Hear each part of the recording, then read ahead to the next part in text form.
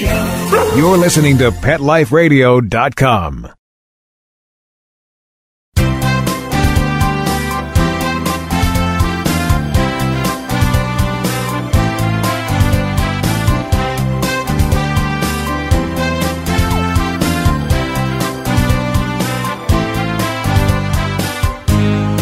And good morning and welcome, or I should say good morning or good afternoon, depending on where you are. You are here live on Pet Life Radio's Ask the Vets with Dr. Jeff. I'm your host, Dr. Jeff Werber, for the next 30 minutes here on Pet Life Radio. And um, we're here for you. We're here for you. You're here for your pets. We're here to talk about anything you want to talk about. We're here to um, answer questions. So if you have any questions you want answered, questions that maybe you are unclear of what your veterinarian was talking about, or you have a tough decision to make, as I helped a client through the other day, now's the time to ask. The advice is free. It's pretty good. Free is good. Free is good. We always like free. And uh, I want to thank our sponsors for allowing us to be here. ProSense Pet Products, veterinary quality products that you can find at your over the counter mass market venue like your Walmarts and your Targets. It's fantastic stuff. And also Kong. Kong toys are everywhere and uh, they are great for your pets. They are safe, great for their teeth, great for their mental development. When they're puppies, they can chew on them. They are practically indestructible. So um, thank both Kong and ProSense for allowing me to be here with you every single Sunday, nine o'clock out in the West and noon out in the East and wherever you are in between. As a matter of fact, next week I'll be coming to you live from location in Park City, Utah. I will take a break from the slopes, snowboarding, so I can be with you live. And again, let's talk about pets. So, um, hope you're having a great holiday. The end of uh, one is tomorrow. That's Hanukkah, and Christmas is two weeks away. It's crazy. So, um, actually less than that now because it was two weeks from Friday. Just a lot of things and tips we're going to go over. We're going to save those for next week so they're fresh in your minds about things you can do to keep your pets very safe during this holiday season. And trust me, as I mentioned it last week, between Halloween, Thanksgiving, Hanukkah, Christmas, there are ample opportunities for our pets to get themselves into trouble. And interestingly, all of these situations are 100% preventable. So we want to make sure that you are well equipped to know how to do, what to do, when to do, and we can have a really, really safe Christmas this year.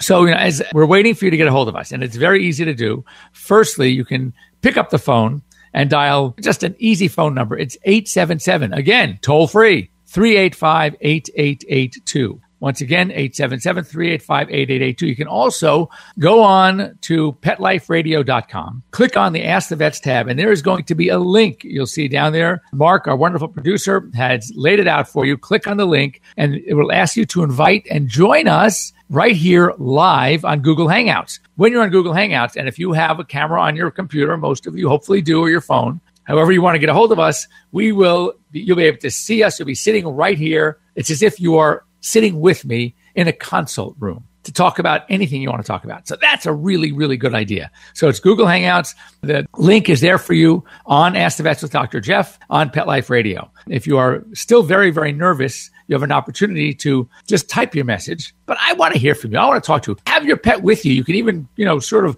show me what's going on. By the way, this is something that's happening right now, and it's, you're going to be seeing a lot more of it. There are going to be websites that you can go on you can speak live, real time to a veterinarian, and it's going to be very reasonably priced. So if, if you're having that issue with your pet, and you're not sure you really have to go to the vet, or let's say it's two o'clock in the morning and you don't want to pay just to walk into an emergency room, it's going to be a couple hundred bucks. And you want to know if what you're seeing is really a problem. You can actually talk real time to a veterinarian. You can bring your dog up to the, the uh, screen, let the veterinarian take a look at what you're looking at, like a look at that laceration, look at that mole, look at that lump, look at that bump, whatever it is. And you can get some really good free advice to um, do we need to run in? And, and if so is it does is it an emergency? Can i wait till tomorrow to see a regular veterinarian? Whatever it is. And um, that's going to be a, a, great service. Of course i'll be working with one of them but something to keep in mind. So it's not weird it's not weird at all if you have your pet and you're sitting right there and you're joining us on the show and you have that burning question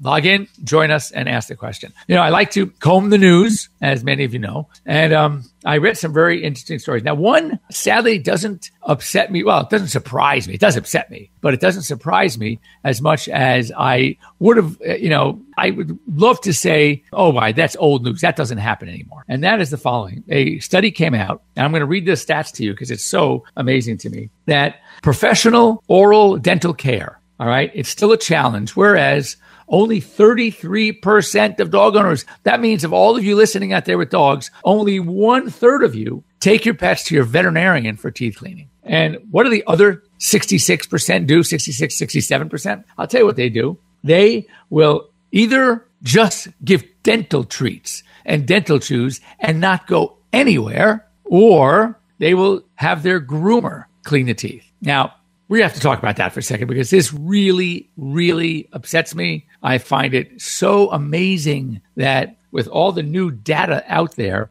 that many of you either don't believe or just I don't know what to say or how to say, but here's the study that got me. First of all, let me go backwards a couple of years. I have a few of my technicians have been quote unquote, I use this term loosely, trained by these non anesthetic dentists. And I've watched them work, and I have to tell you, as far as what you see when you pick up, they do a really nice job. And I'm, in fact, amazed at how they sit on the floor. They kind of cocoon the animal and they feel comfortable enough and they're scraping away. And then they do their little polishing. And I have to tell you, after they have done their treatment, it looks pretty darn good. And I know, hey, I'm a consumer. I know also that if you thought that what you were getting was just as good as that veterinarian advocating full anesthesia. Nobody wants to anesthetize their pet as often as that. And guess what? As we also know, and I'm sure you've heard, that most of the times that there is a surgery complication, it's not the actual surgery, it's the anesthetic. So that is probably one of the most challenging parts of, of any procedure is making sure we have a safe anesthesia. And again, every dog is different. So, you know, when you read those dose ranges of how much to give, yeah, perfect for 99% of the 99% might be a little dangerous for 1%. So, anyway, having said that, people are more comfortable knowing that they're going to go to the doggy dentist and have the pet's teeth cleaned. And I hear all the time. Well, gee, doc, I don't go get anesthetized when I get my teeth cleaned. And they're a dentist. They do a really good job. Or dental hygienist. They're licensed. They do a really good job. And I don't disagree.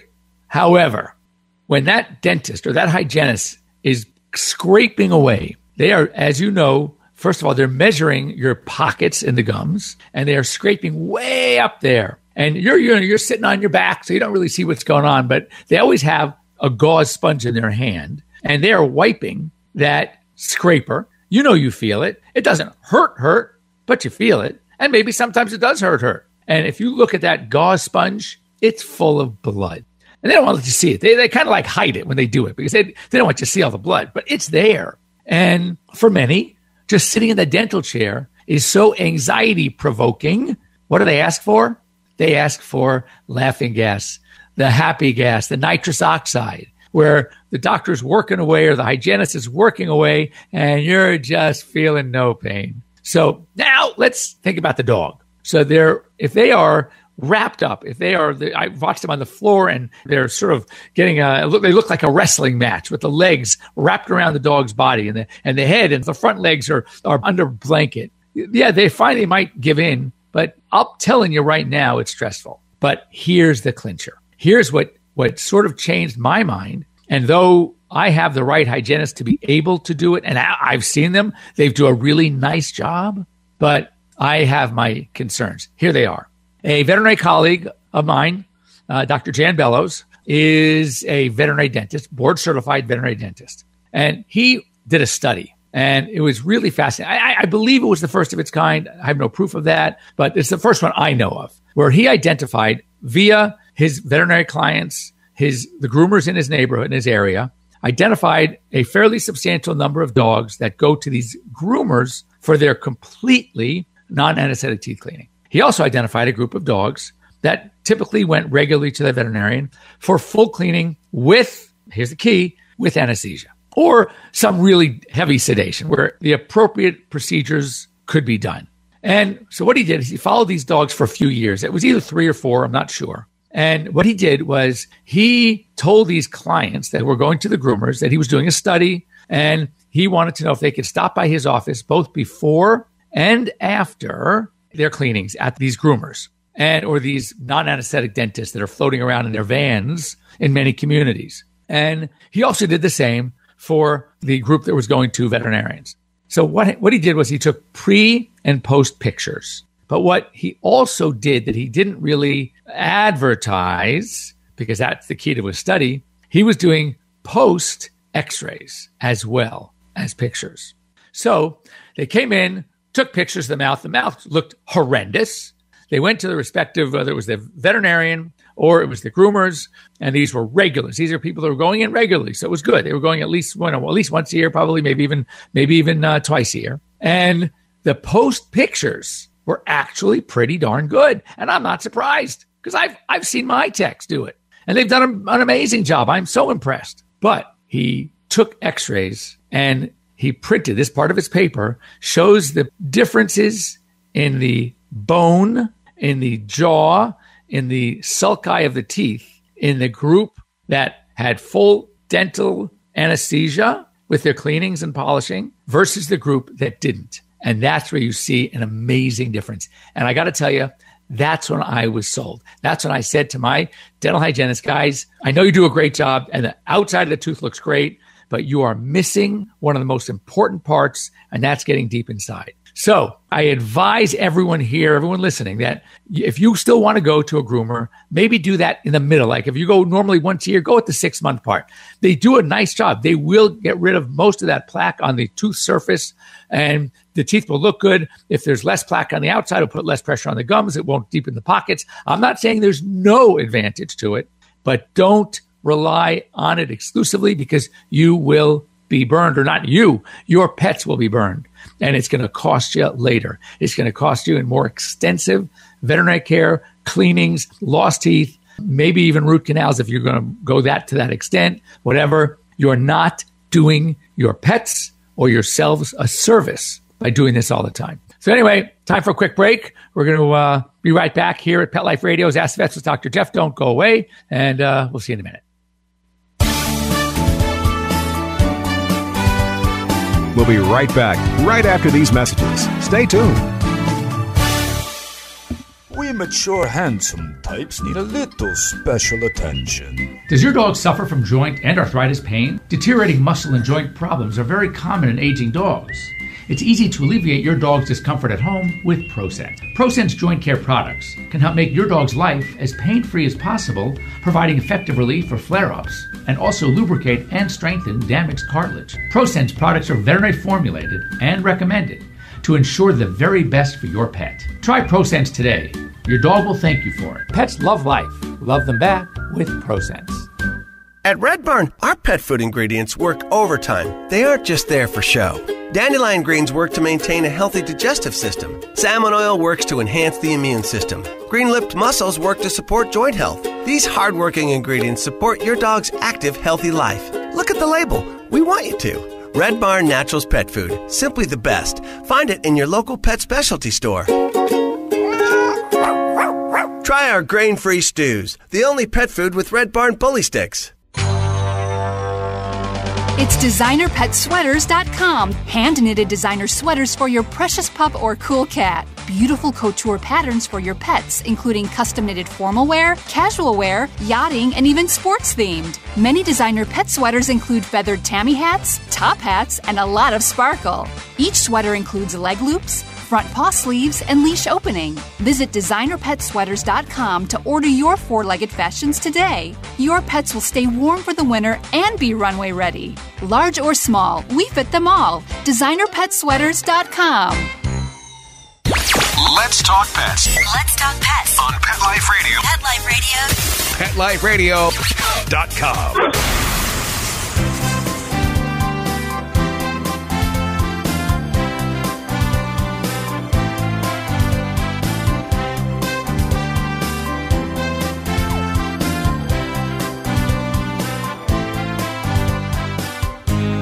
And welcome back. You're here once again live with Dr. Jeff Werber, your host here on Pet Life Radio's Ask the with Dr. Jeff.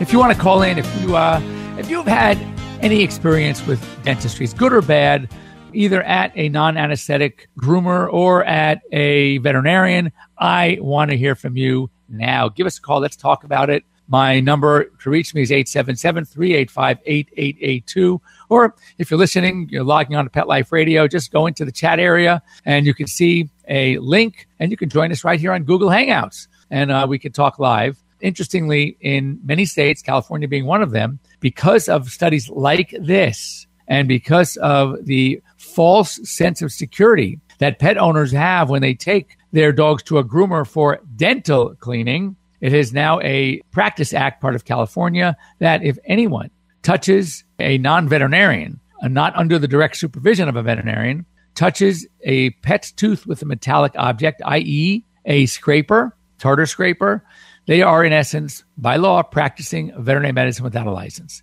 And uh, that is, it's a penalty and punishable. So you should also make sure that in the states you're going to, that if you go to such a place, there is a veterinarian at least on the premises and make sure what their state's practice act is because we don't want that person getting into trouble. But I think you really need to do a little homework. So um, I'm here, 877-385-8882. Give me a call. Let's talk about this because I want to know if you've had bad experiences or what is your fear other than the money. So what we do is there are some new heavy sedatives on the phone. We call it Twilight Dental. It's a, a sedative that we use. It's called dexdomitor. We use add a pain medication, butorphanol.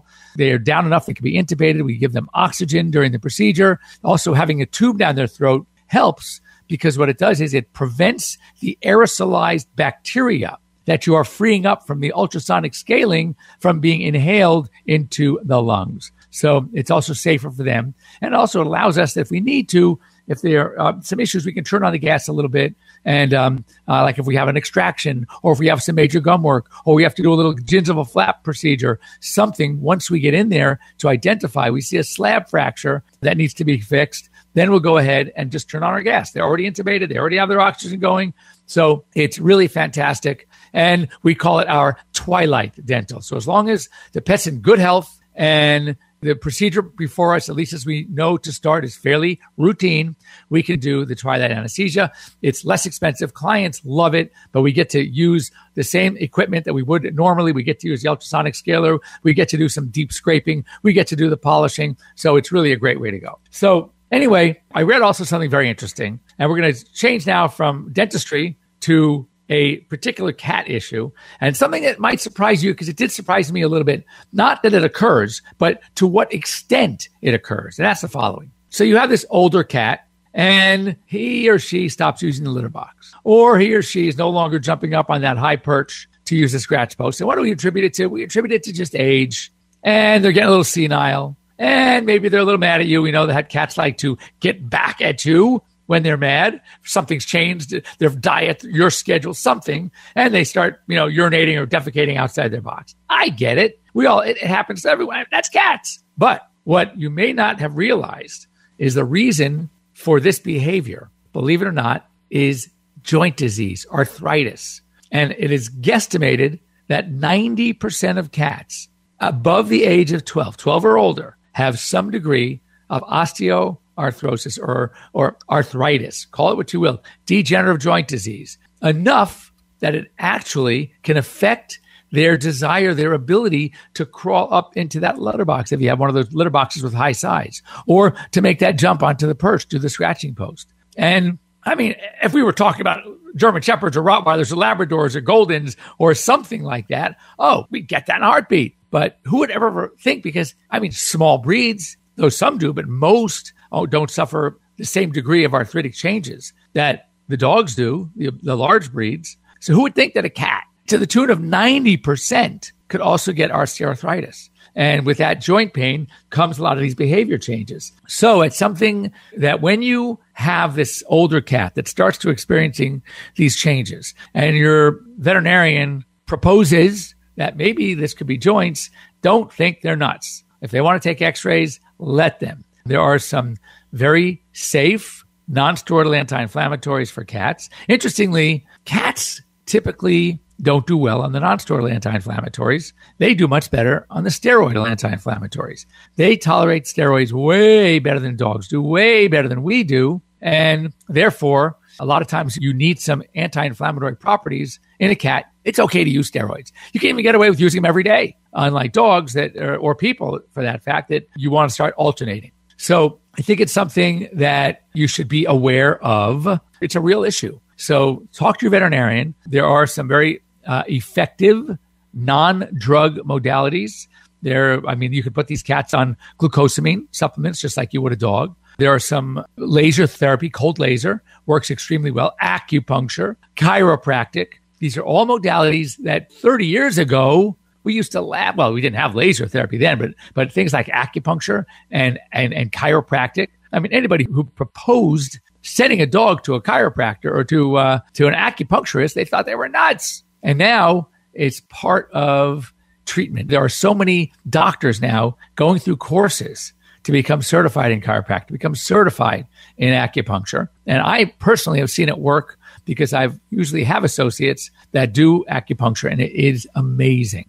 So something to keep in mind. And I have been employing cold laser. They call it therapeutic laser in my practice now for, for, oh, I don't know, eight years. And it is also rather amazing. We've had some great success. I remember the very first time I wanted to use it, it was a dog, a little Bichon Frise.